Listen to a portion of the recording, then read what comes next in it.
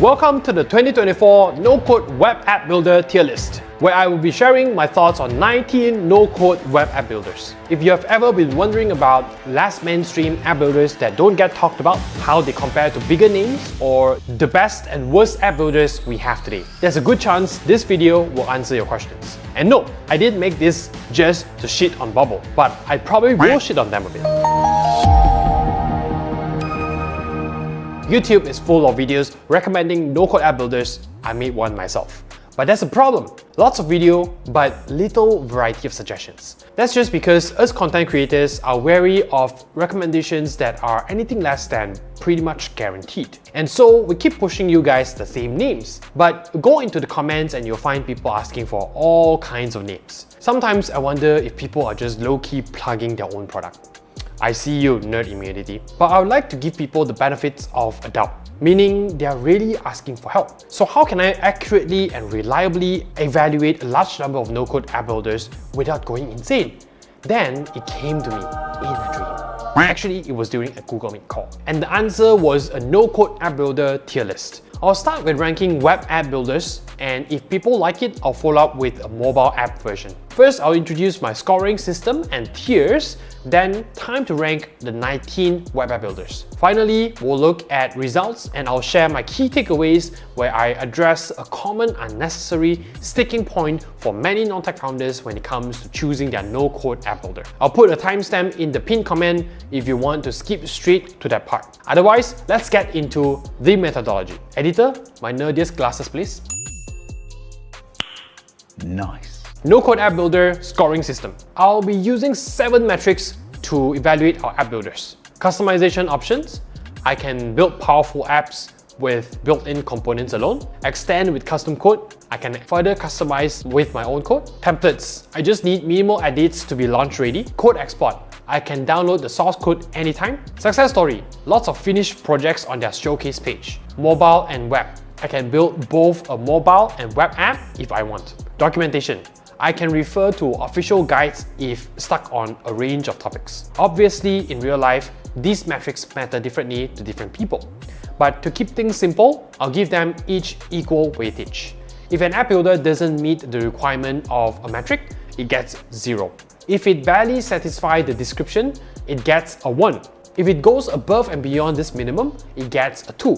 For example, if a web app builder doesn't offer mobile capabilities, it gets a 0 for the web and mobile metric. If it only lets you build hybrid PWA mobile apps, it gets a 1. If it lets you build native level mobile applications, it gets a 2. Same goes for every metric, then I tally the score and assign it to those 4 tiers. No-code app builders tiers. If an app builder gets a perfect score, they go to the top, God tier. 10 to 13 and they go into A tier, still great choices. 5 to 9 and it's B tier, where it's fine, but you probably could do better. And a score below 5 goes into crap tier. They belong to the streets. Then I need no-code app builders to score and rank. I looked everywhere, Google, Reddit, even armpit stains of the internet, the YouTube comment section. In total, I found 19 lamps take to the slaughter. Then I sat down with my scriptwriter and we scored and ranked them all. So could your favorite app builder belong to the crap tier? Well, something smells bad. Is it your app builder or did I just pants? Let's find out. Hey guys, if you disagree with any of my scores, don't forget to punish me by liking and subscribing. And if you really think I'm full of crap, put me in my place by sharing this video. That would really hurt my feelings. Time to rank some app builders. Wait, wait, just a heads up. In case it isn't obvious, this isn't meant to be a deep dive into every no-code app builder. How it works is, I put the app builder on screen, give a score for each metric, tally the score, assign it to a tier, and then move on to the next one. If you have questions about a specific score, maybe you disagree, want to know why I scored it that way, or I miss out a favorite app builder, hit me up in the comments. Like in my video about why I wouldn't use Bubble, some people agreed, some people didn't. That's great. You know this is all just my opinion, right? Now, I think any good show starts with a bang. So let's start with Bubble. Bubble. Fun fact, did you know the IO in bubble.io stands for Ayo, why did I ever use Bubble? That one's for my Malaysian viewers anyways. Anyways, Customization option 2. Extend with custom code 1. Templates 2. Code export 0. Success stories 2. Mobile and web 1. Documentation 2. Total score 10. So it barely qualifies for the A tier.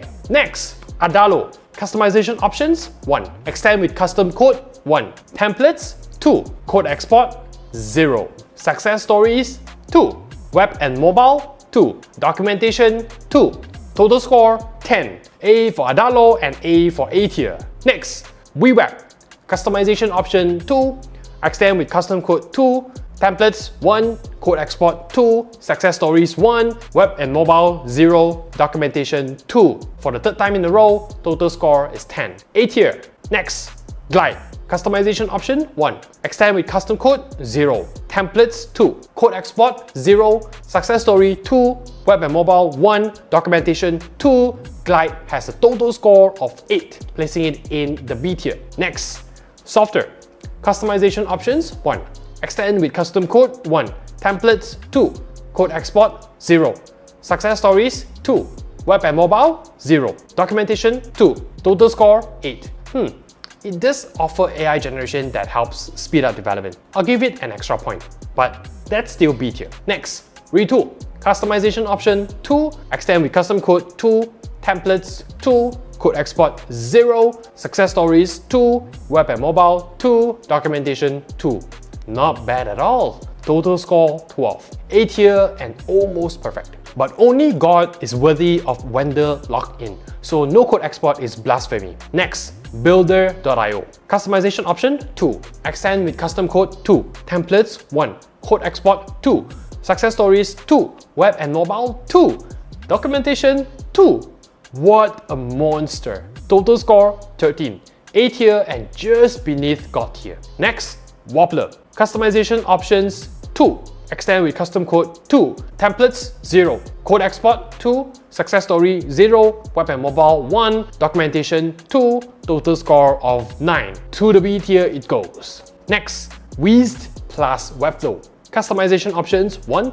Extend with custom code 1. Templates 2. Code export 0 for WizDev by the way. Success stories 1. Web and mobile 1. Documentation 2. Total score 8. B tier. The Webflow fans won't like this. Just remember this is for web apps, not sites. Next, Plasmic. Customization options 2. Extend with custom code 2. Templates 1. Code export 2. Success stories 2. Web and mobile 1. Documentation 2. Total score 12. Solid A tier contender. Also, the co-founder looks like tech lead. AppSmith. Customization option 2. Extend with custom code 2. Templates 1. Code export 2. Success stories 2. Web and mobile 0. Documentation 2. Total score 11. A tier. Next, Stacker. Customization options 1. Extend with custom code 0. Templates 1. Code export 0. Success stories 1. Web and mobile 0. Documentation 1. Total score of 4. Into the crap tier. Next, Goodbarber. Customization options 1. Extend with custom code 1. Templates 1. Code export 0. Success stories 1. Web and mobile 2. Documentation 1. Total score 7. B tier. Next, Voltapp. Customization options 1. Extend with custom code 1. Templates 1. Custom code 0. Success stories 0. Web and mobile 1. Documentation 1. This one came from my comment section. More than one commenter asked about this. Total score 5. B tier. Next, Drapcode. Customization options 2. Extend with custom code 2. Templates 1. Code export 2. Success stories 0. Web and mobile 1. Documentation 2. Total score of 10. A tier. Next, Knack. Customization options 2. Extend with custom code 1. Templates 2. Code export 0. Success stories 2. Web and mobile 0. Documentation 2. Never heard of them before researching this video, but they look alright. Total score 9. B tier. Next, NoLoco. Customization options 1. Extend with custom code 0. Templates 1. Code export 0. Success stories 1. Web and mobile 1. Documentation 2. Total score of 6. B tier. Damn. I'm getting tired. Who knew roasting other people's work could be so tiring? Just a few more. Builder. Customization options 2. Extend with custom code 2. Templates 0. Code export 1. Success story 1. Web and mobile 0. Documentation 1. Total score of 7 B tier. Next and final candidate, Mint Data. Customization options 1. Extend with custom code 0. Templates 1. Code export 0. Success story 0. Web and mobile 0. Documentation 1. Total score of 3. To the Mint Data team, sorry, but to the crap tier you go. Okay, let's look at the overall result. We have 0 app builders in God tier, 8 builders in A tier, 9 builders in B tier, and we have 2 app builders in crap tier. Are you surprised? I'm not. If you're looking for an app builder, these are my 3 takeaways for you. Number 1, perfect and perfectly terrible app builders don't exist a truly terrible app builder just won't survive the market. And it's impossible to make a no-code app builder without compromising somewhere. Good thing is, it's kind of impossible for an app builder to be so bad that your project fails because of it. Except maybe Mint Data and Stacker, so I would avoid them. Everything else, it's not like you cut the wrong wire and it instantly explodes. Whatever you want you can be assured of a baseline level of usability and quality. Number two, do you value established or personalized more? Look at the list.